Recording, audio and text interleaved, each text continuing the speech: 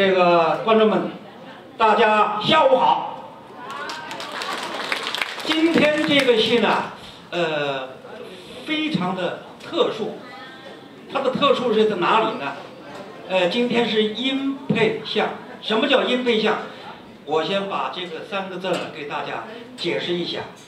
所谓的音呢，就是我们讲话、唱戏啊，啊啊啊，唱戏了，它是有录音的。这个录音呢，一边放，然后我们的人呢就扮上了音里头的演员那个角色，比如说白娘子，她在那儿唱她的音乐，而我们呢就是根据她的唱来配这个像，就形成一个呃比较新鲜。这个东西是在大陆啊，大家知道，就是为了一个保存。因为呃，在几十年以前或者解放以前呐，是吧？或者五十年代，哪有现在这个音像跟那个录像那个资料？它只能是把音留下来，但是呢，没有那个像电影拍了，也不是好多演员都是每个人都能拍电影的嘛。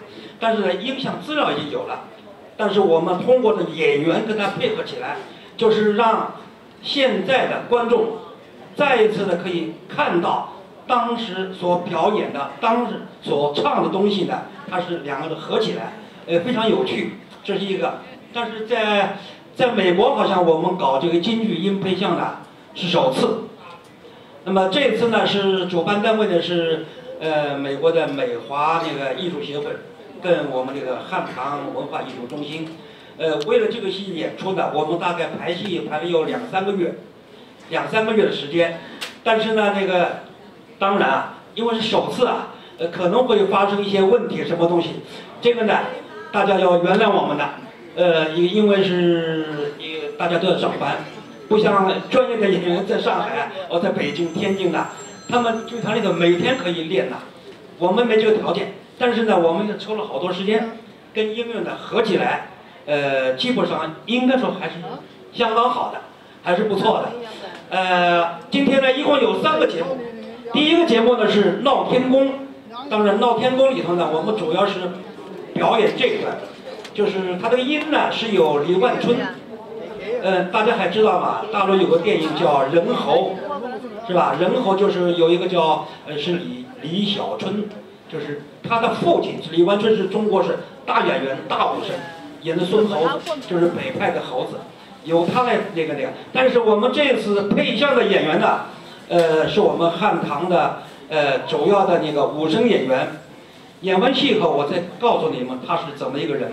孙猴子，他叫房玉林，他是我们纽约的著名的京剧武生表演艺术家。其中，呃，一个有有一个天病，是我们团的李庆凤，他是年轻翻打跌扑，他是相当好的。假如你们还看过这个松柏中学，记得，呃，那个就是混沌公司的刘淑华，广东戏啊，粤剧大家都知道的，他演了一个叫《战马超》，这个戏呢，这是我跟他们排的，我曾经带了有十几个年轻的翻跟头的，就排了这出戏以后呢，就在松柏中学，呃，非常非常精彩的，其中最好的一个，呃，就是我们的李青凤，还有一个是仙女，仙女是谁演的呢？